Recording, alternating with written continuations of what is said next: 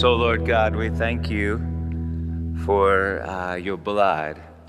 And Lord, I thank you that it's the flow that's precious. And it's your life that's in the blood. And each one of us is somehow your temple, and there's a fountain that wells up inside. And it flows to other people from one to the other, and then back to the throne. And on the throne is somehow the head. And you live your life through us, Lord God. I have a hard time believing that. But I thank you that even that is a gift from you. And what you started, you will finish.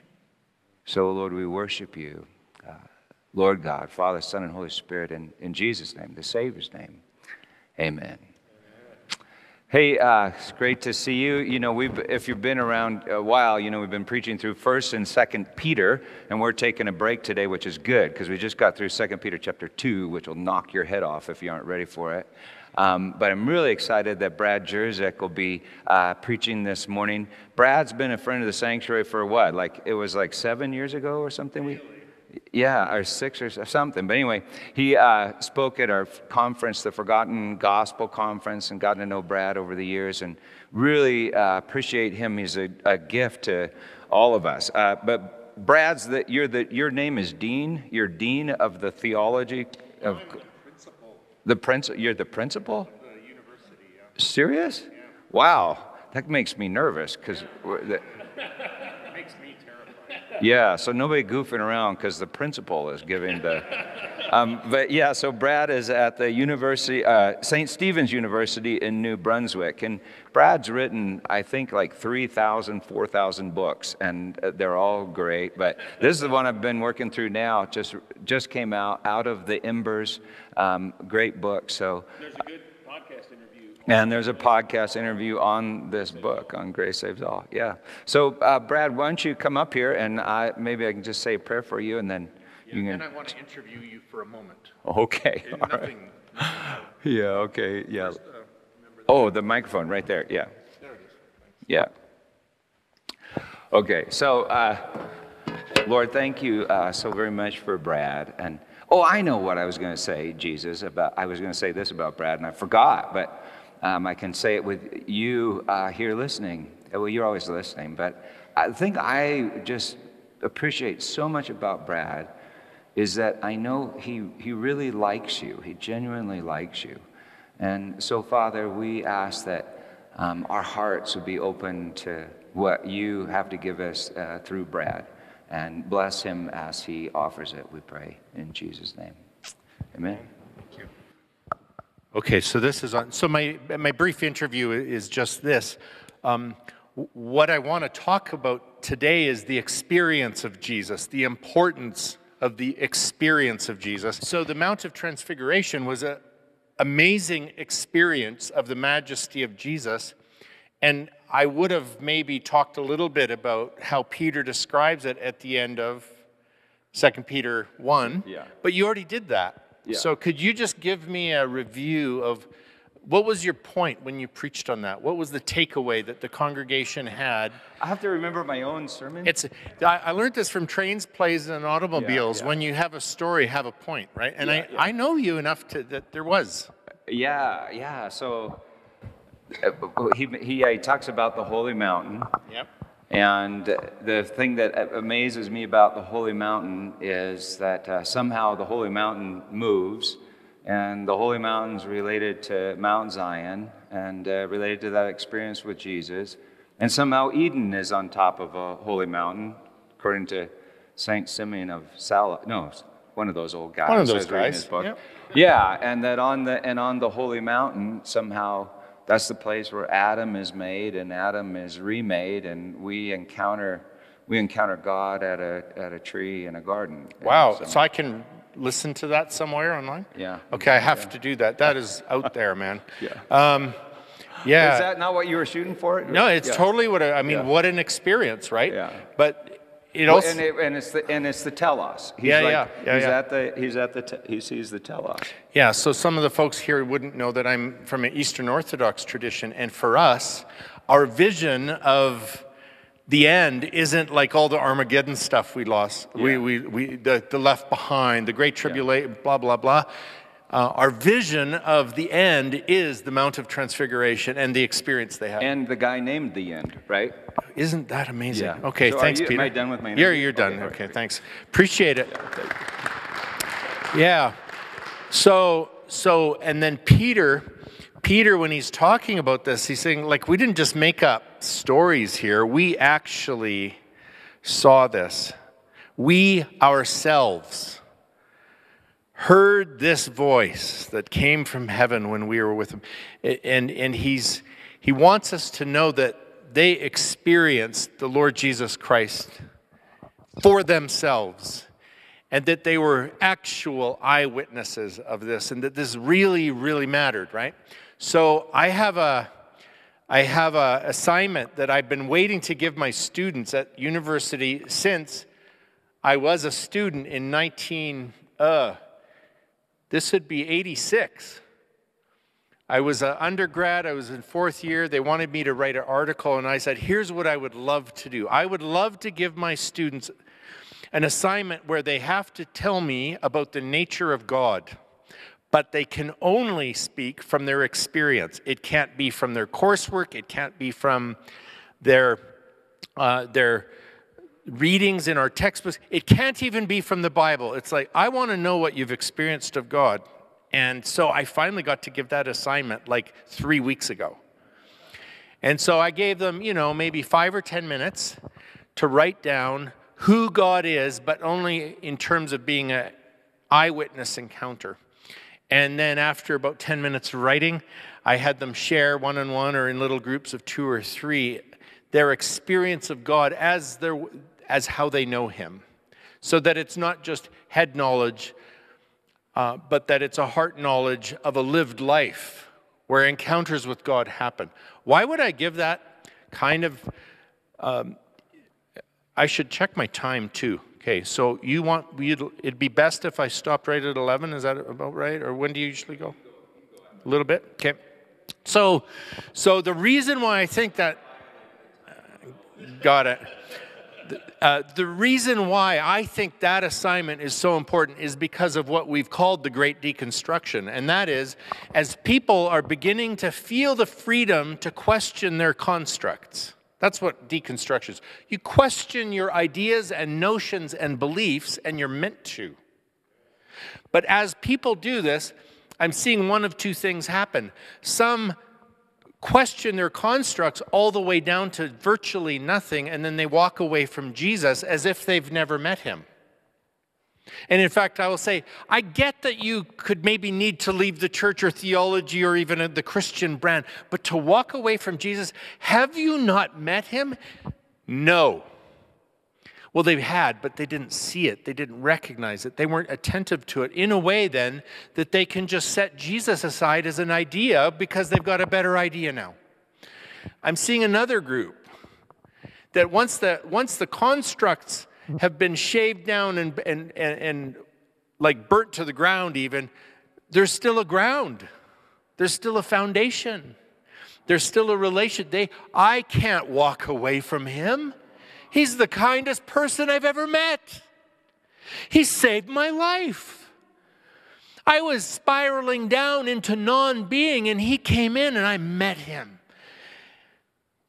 So, that kind of knowing is much different than this other kind of knowing that we might have received as indoctrination or as an inheritance from, you know, we, we've got to have an experience of Jesus. And I, I would say that can be seen very generously, and I'll get to that in a moment. But let's pop in now to uh, 1 John chapter 1. He's going to talk about this experience of Jesus. From the very first day, we were there. I guess we're hearing about, you know, on the beach when Jesus calls John the Beloved to follow him. The very first day we were there taking it all in. We heard it with our own ears, saw it with our own eyes, verified it with our own hands. This was an experience of Jesus. They knew him. And he's talking to a community where there had been some, you know, false teachers came along and said, oh, by the way, uh, Jesus Christ did not come in the flesh. And John's like, wait a minute. We saw him, heard him, touched him, smelled him. It's kind of not real fellowship unless you don't smell someone. I think that, that's probably that's the that's the you know um, yeah very delightful smell aroma the aroma of life right the word of life appeared right before our eyes we saw it happen. So the Word became flesh and dwelt among us, made us, pitched a tent among us for a while, and we experienced that. Now we're telling you, in the most sober prose, that what we witnessed was incredibly this the infinite life of God Himself took shape before us. We saw it, we heard it, and now we're telling you why so you can experience it along with us. That's quite a leap because what he's saying is what we experience with our five senses, you can experience too. But wait, Christ has ascended. Uh, the Jesus we know is invisible to our earthly eyes, our earthly material ears, to the, the we, we don't feel that touch or texture in a material way. So, how can you say you can have the same experience?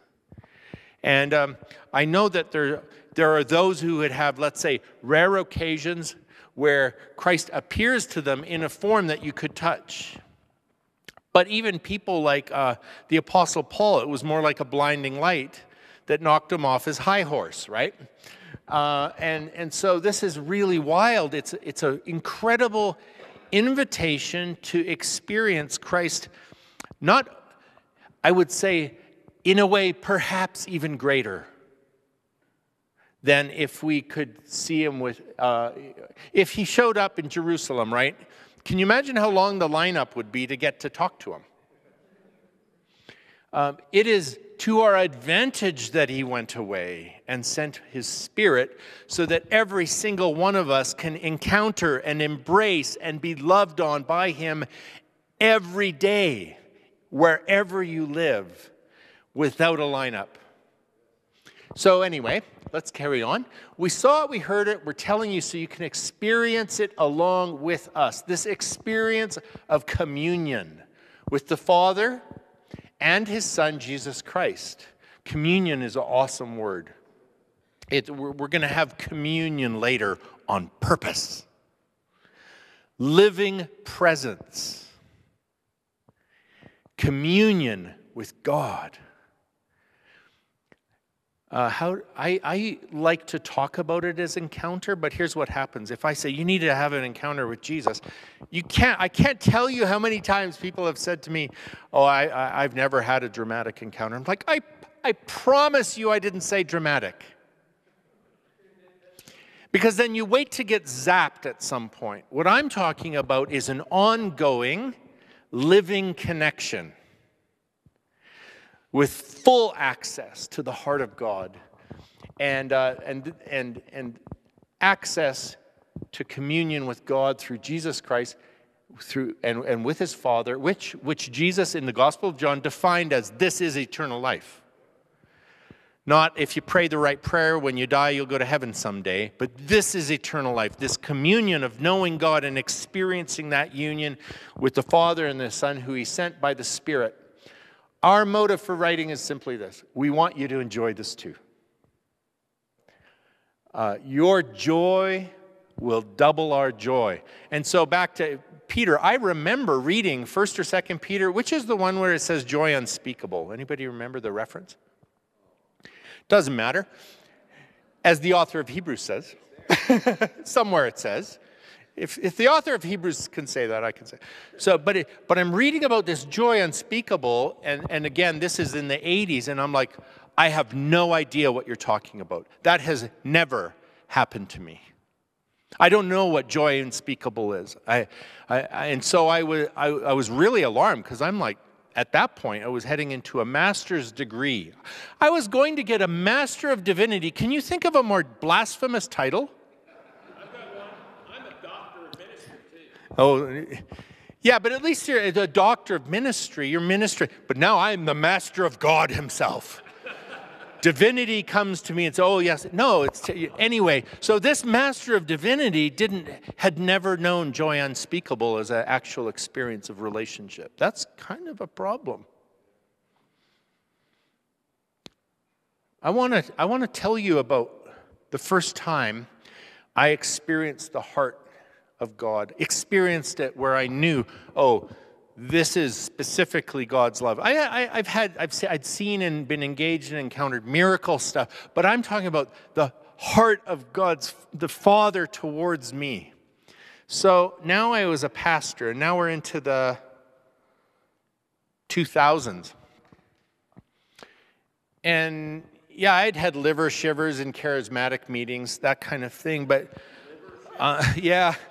Um, but, but on this occasion, I was in a very dark place. It, it's a time I shared about a little in the conference where my, my life was falling apart. I was unraveling badly, and I was, I was undergoing tremendous um, inner turmoil and torment, and, and, and I was acting out of that, and it was very harmful. And in that, I entered a, some pretty intense self loathing. And and, and, a lot of suicidal ideations. It's just kind of a thing in my family. We go there way too easily. And, um, and so I know I, needed a, I know I needed a refuge. And the one safe place I knew where I was probably safe from myself and safe in the world was a place called Circle of Friends. It was a Monday morning coffee house for people with disabilities in full time care. It, and it, it is a riot quite literally. So, people with uh, Down syndrome, autism, rows and rows of wheelchairs, probably 200 people would show up for this coffee house, half of which were care workers, or maybe a third were care workers, and the rest were people with disabilities. And they would have a sing along worship time. So, uh, um, and like they're singing things like um, the classic camp songs or uh, this little light of mine, for example. And, and so you've got people up on a stage about this tall, and, and, and so they've got banners and ribbons and tambourines and djembes and guitars, and, and, and all these folks from the care homes are like full on involved in it and dancing, and it's just mayhem and so glorious. I'm like, that's a safe place for me. So I go into the back. I'm sitting in a back pew in my self loathing and self pity, which is a false self in me, I think. And um, Kit's up on stage. Now, Kit was a guy with, with Down syndrome, but he, uh, and very mainly nonverbal. I, he, he would try to talk. He'd go, er, er, er, er, er, er. and then he would say, Amen. So you knew he was praying. And Kit's playing the djembe definitely to his own drum beat. And he's, and he's on the stage and he sees me in the back pew. And he leaves his djembe and he comes down and he walks up the aisle and he takes me, and he's about this tall. He always wears, like, you know, those yellow vests that crews wear on the road. He always wearing one of those completely smeared, usually in um, caulking that he had been using somewhere, you know, this is the guy that pulls the fire alarm in the shopping mall. Uh, you know, the, and he comes and he gets me and he grabs me by the arm and he drags me down to the front, and, and right where you are, David. And he, and he sits me down and he sits me beside him and he grabs my head with both hands and he pulls it to his heart and he starts stroking my head. And I bawled like a baby. I bawled that way at his funeral, too. But I bawled like a baby because I could feel the love of the Father at the deepest place in my hell, shining like a light in that dark place, which in 2 Peter 1 there again, shining a light in that dark place that just wanted to, to self destruct and had been. And we've got this amazing, really dour Russian proverb that Christ redeems in that moment. Here's the proverb. You'll love this. When you think you've hit bottom, you will hear a knock from below. That's Russians for you. But here's the redemption, and it's Christ knocking. His, his love has descended deeper than my deepest bottom. Knocked from below, came up and, and, and brought me the heart of the Father through Kit.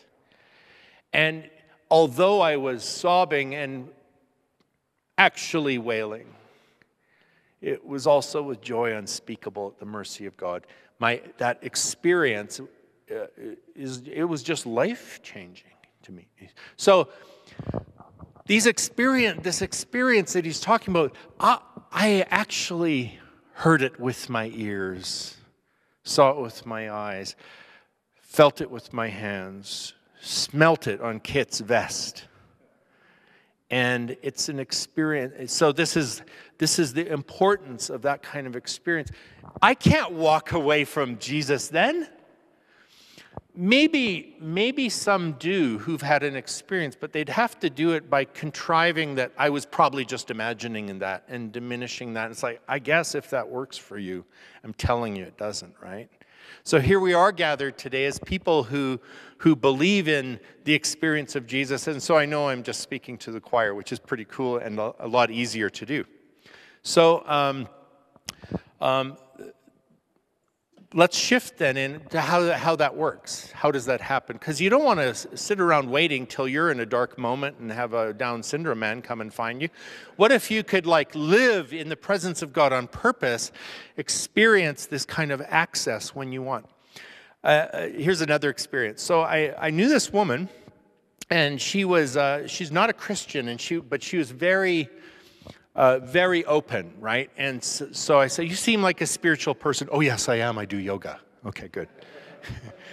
and, and I said, Oh, yeah, yeah. That, and, and tell me about that. And she says, Well, I, you know, when I do yoga, that's when I can be centered and I can breathe and I can, and, and I find peace of heart that I hadn't been, been able to find. Oh, that's really good. That's really good.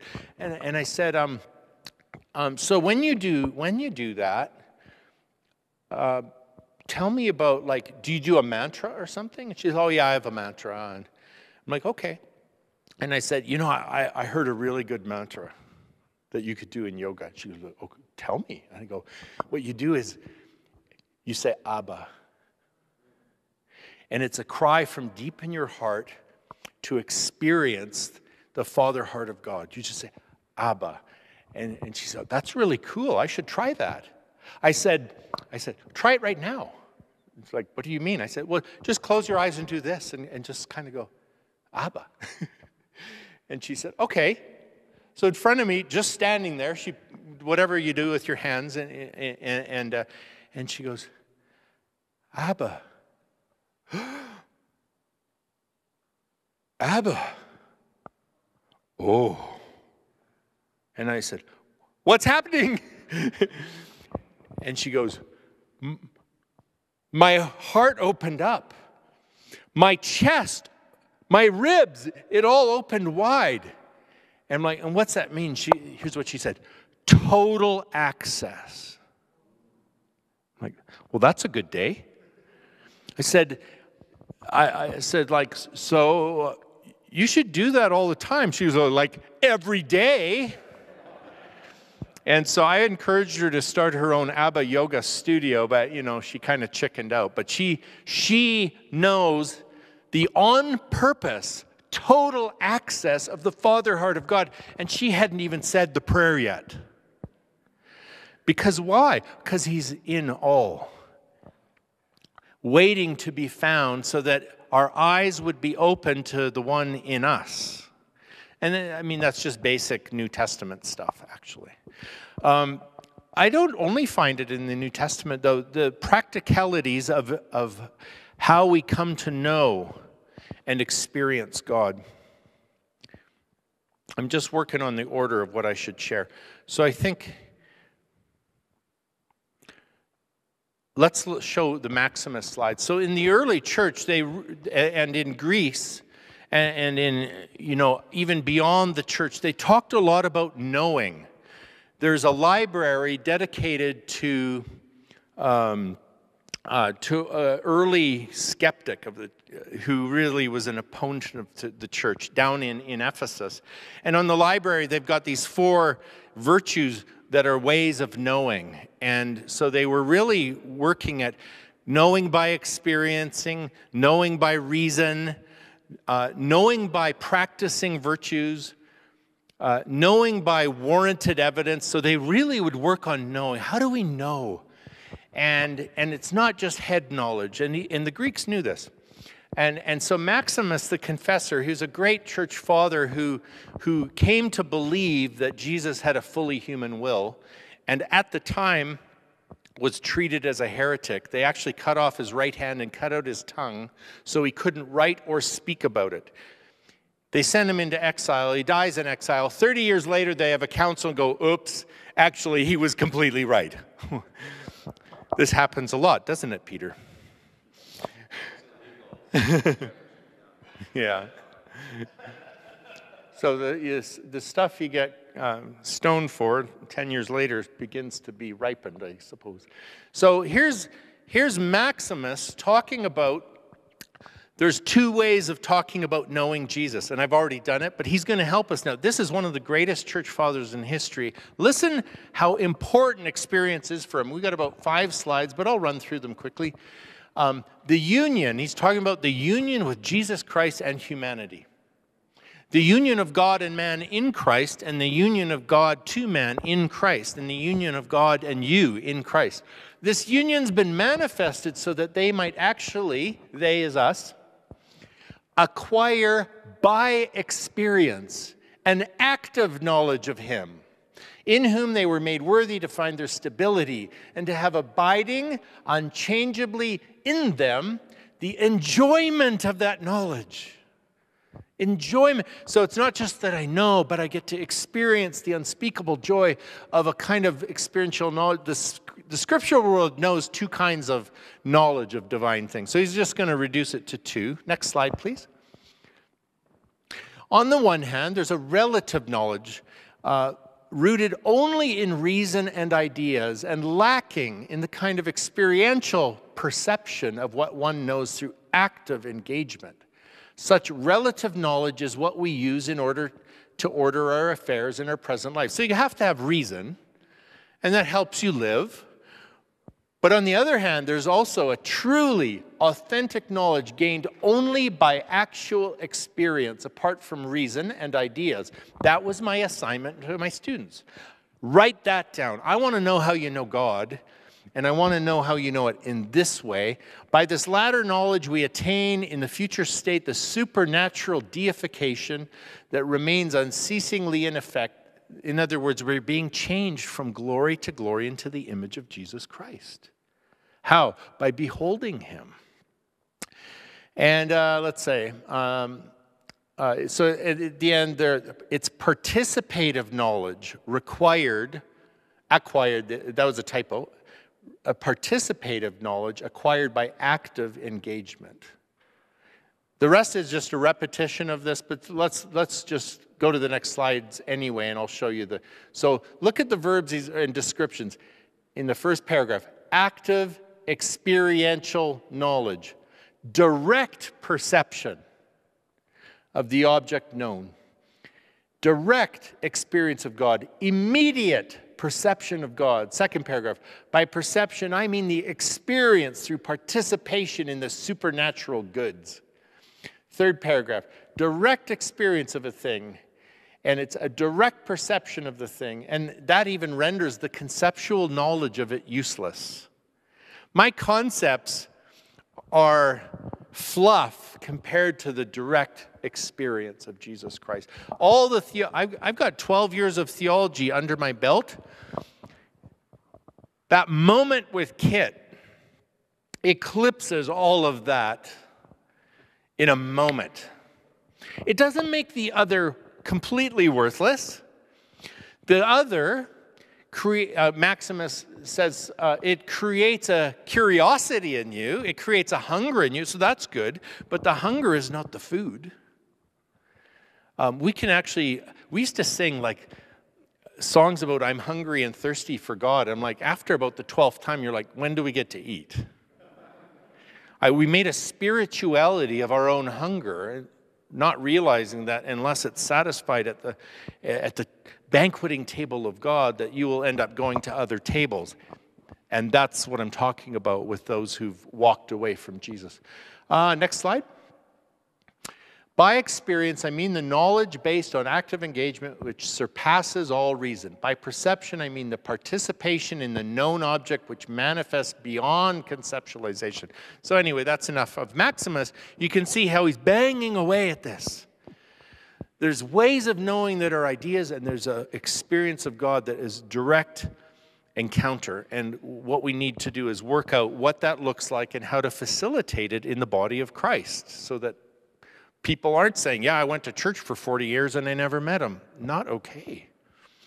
Um, so before I, before I just give you a, a few ideas about that, I, here's, I, I actually uh, see God trying to communicate this all over the world, even across faiths. So this year I read the Bhagavad Gita. It's the primary Hindu scripture. It's kind of their gospel. Uh, Krishna, who's kind of a Christ figure, is in it. And and he's explaining how you can experience union with God. I'm like, that's pretty good. That's why I read it four times. I'm like, I am seeing the light of Christ bursting into their own scriptures with an invitation that I think ultimately leads to our Lord. And so what Krishna says is, look at there's we have different temperaments and in those temperaments there's ways of approaching God and pursuing experience that are different for different people. So uh, he says, for some people, you have philosophical minds and you want to philosophize your way to God. And, and that's a pretty abstract sense of God. And it's really hard, but you know, if that's your thing. But then he goes, but there's a better, there's easier ways and better ways. So if you don't want to philosophize your way to God, uh, one way you can do it is through devotion. And he says, instead of coming to God as an abstract philosophy, you come to God as a divine lover. And you're his bride. And you worship with songs of devotion like you would to somebody you're in love with. And he says, that's actually an easier approach to God. And you'll experience your union with God inside of devotional hymns. I'm like, that's pretty good. And he said, but you know, for some of you, now this is a translation from it's not your jam. He says, so if, if that's not your jam, here's what you do. Um, some will find they encounter God through selfless service. Matthew 25, right? Oh, I met him in the prisoner. I met him in the hungry. I met him in the naked. I met him in the sick. And I was just doing selfless service and I realized, oh my goodness, I just had an encounter with Christ. And so Krishna goes on, and I, I thought, well, that's handy. What if we ask the same question of Christians now? So I just do a little survey. Uh, started with my wife. Um, and so now we're moving into the part of the sermon where I'm like, here's some practical ways of engaging direct the direct access you already have to the one who's already in you. So this is not about climbing up to somewhere else, but it's like, um, how do I become attentive to what is already precious to me. So I say to my wife, hey, Eden, when I think about experiencing God, one of the ways that happens for me is in my prayer life, where from the time I was very little and my mom taught me to love Jesus, well, she taught me his name and I just loved him on her lap to this day, despite my valleys. Sometimes that feels like in the night watch, I pray in the darkness, and He's right here. Right here. And I hold my hand there because He's like even closer than that. But it's like the here-ness of God in the quiet of my heart. And I said, What's it like for you? Do you experience God? And she says, Every day. And I'm like, Okay, tell me how. And she said, It's always through the other. I'm like, What do you mean? She said, I see his face in everybody. I, I just smile at anybody and they smile back and their eyes light up and bam, they become a window to Jesus' face. Um, and, and some of her experiences with this are incredibly profound. Where out of the blue, when she was grieving thyroid cancer, a homeless man comes up to her and this is meant for you, and it's a rose in a pure white hanky. And she's like, What? oh, I met him today. She is walking the stroller when her kids are younger and, and she meets a Muslim woman in a full burqa where you only see her eyes. And the mom looks at, no, actually, she didn't have the stroller. The, the, the, the mom, the, the Muslim woman had the stroller. My wife's walking and the woman sees our three adult sons and realizes it's my wife, my, that my wife's the mom, right? And they lock eyes and the woman just gives her a nod. I know. I know what it's like to be a mom. And she's like, and suddenly Jesus is looking out from the slit in that burqa through the mother eyes of someone in whom Christ lives, if you have the theology for it. And then, okay, so prayer, that's one way. Uh, some of Eden, it's other people encountering him in the other. Um, others, it's like you just know I need to be with Jesus, so you put your headphones on. And you get lost in worship, or you, you enter worship and you realize in that devotional sense, it's like, oh, I am, uh, my lover is mine and I am his, right? I asked Joe Beach this morning, like, where do, where do you meet Jesus? He's like, oh, quite often I will be riding my bike up to Red Rock and suddenly I will become aware of the presence of God. I will sense the presence that's already there, and, and joy will rise up. The early church fathers and mothers, what they said is that that was God's favorite way. He wanted to make it available to everybody. And in making it available to everyone, because the, the, the, the cosmos is an appearance of God. It's not an incarnation, but it's an appearance of God. That anybody who wanted to access God, the entire world is your icon. But then he said, but then we got hardness of heart, so he had to send the prophets. And then we heard the prophets and we didn't like that, so he had to send the scriptures. But it was like his first, his first choice was actually the nature trail. Isn't that interesting, eh? And so uh, let's just take a moment to think for yourself. Um, well, hang on. All of those things are something people experience every day, but they don't experience it as, a, as God. Like anyone can go for a bike ride, anyone can look a Muslim woman in the face, anyone can do some breathing during yoga, anybody. So, what is the difference between those who go for a walk and those who experience God on that walk? Um, I guess it's attention. I guess it's having our eyes open. It's not striving for it like you've got to grasp at the, this other tree, the knowledge of good, you know, I'm going to grasp at the tree. No, it's more like just being awake, being attentive, and not striving, but watching for the ways that God is smiling at you in any given moment. And I've just given you three or four or five, but um, uh, I think I think it's very unlikely that you haven't encountered God in one of those ways or some other ways, right? So, um, one way I think we're just going to go into the practice of this on purpose together. So, you, yeah, you can have your personal one on one encounters with Jesus, like I was describing, but we are also meant to experience that as a group, as a body, as a family. And, and, and we call this communion. We call this the Eucharist. Um, we call, you know, we call this the Lord's table.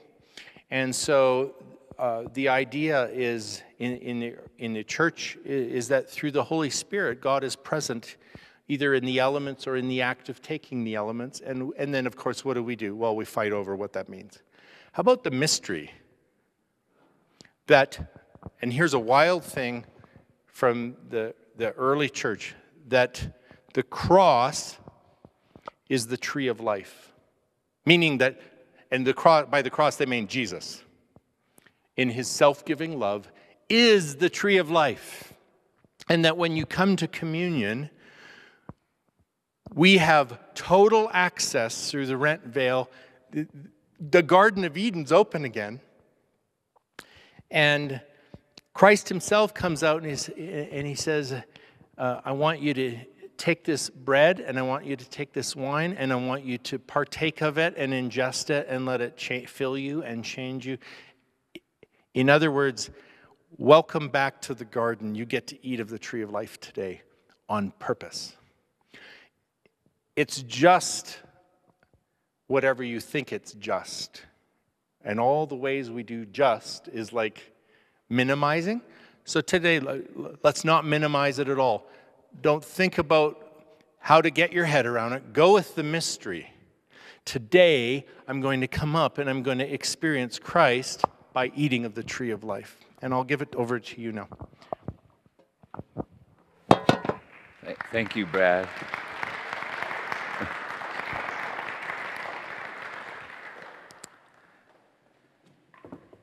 And so, uh, on the night that he, uh, the life, Jesus was betrayed by all of us.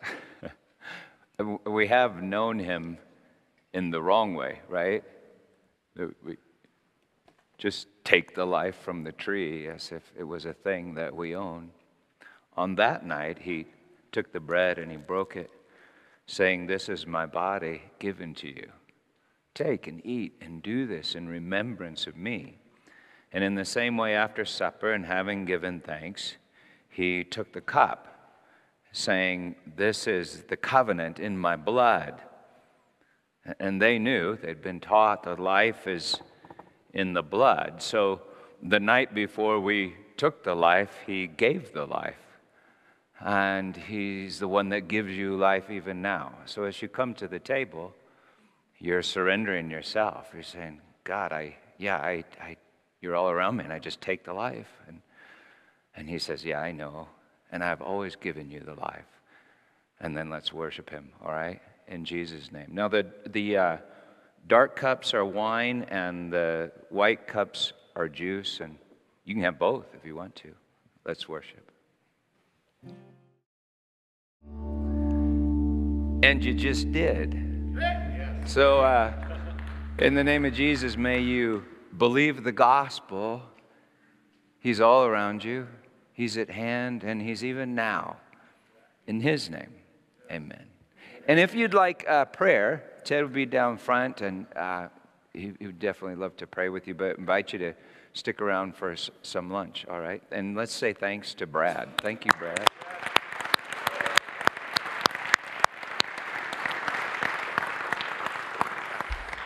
Have a great week.